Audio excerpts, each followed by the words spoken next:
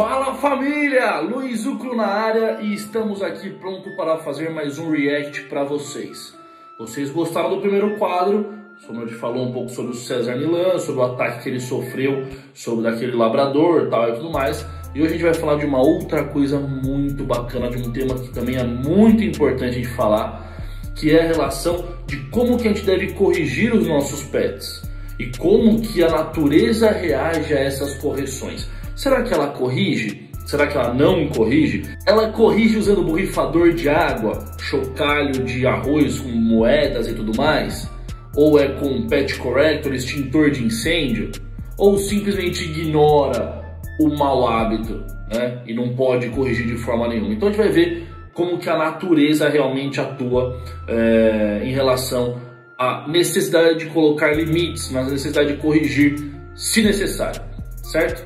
Antes de tudo, não deixe de se inscrever aqui no canal, acompanhar todas as minhas redes sociais também e bora pro vídeo, tá? No caso aqui a gente vai falar sobre uma Golden que acabou de ter alguns filhotinhos e o mais legal dessa história toda é que assim, é uma Golden que já tem uma certa idade, pela, provavelmente não é a primeira vez que ela tem filhotes, então é uma cachorra que já tem muita experiência.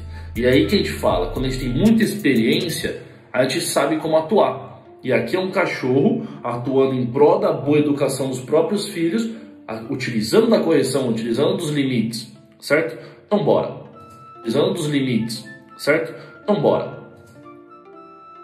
Deixa eu ver aqui já a mamãe. Com os filhotes todos ali. Você vê que eles estão super agitados, super enérgicos. E ela entra do mesmo jeito, que ela precisa dar de mamar para esses filhotes. Mas não nesse estágio mental. Ninguém gosta desse estágio mental, certo?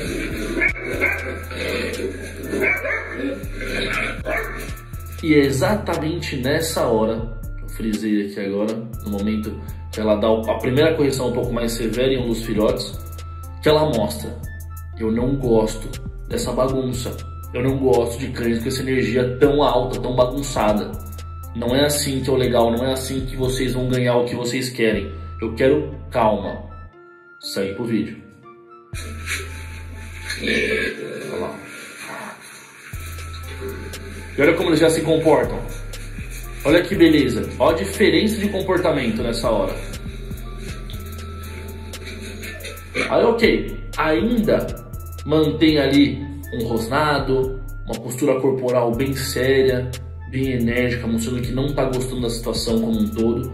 Mas os filhotes, ó, cada um já foi para um canto, estão só observando. Tem um outro filhotinho aqui no canto é, inferior da tela que tá doidinha, dá para chegar perto dela.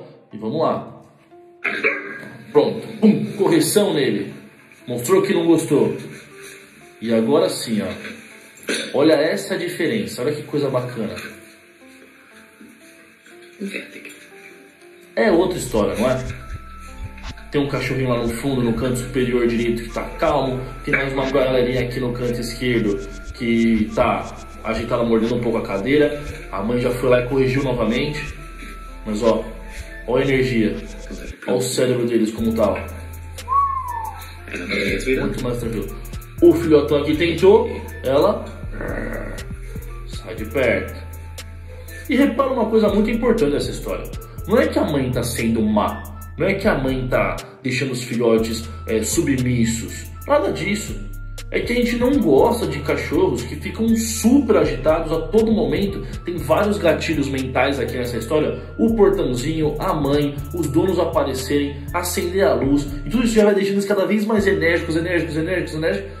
E é o que acontece nas nossas casas, em relação à comida, em relação ao passeio, chegada de visita, às vezes a própria chegada do próprio dono. E não é bacana manter essa ideia né?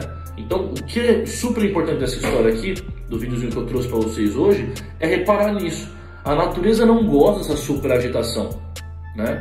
Tem momentos que sim, mas não nas coisas básicas do dia a dia, correto?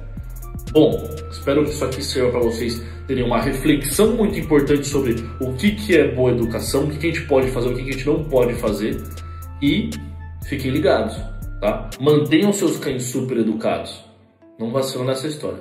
Se inscreva aqui no canal, também acione o sininho de notificações, deixe um comentário, deixe um like e vamos ficar cada vez mais por dentro dessa boa educação animal, certo? Falou, galera. Tchau, tchau.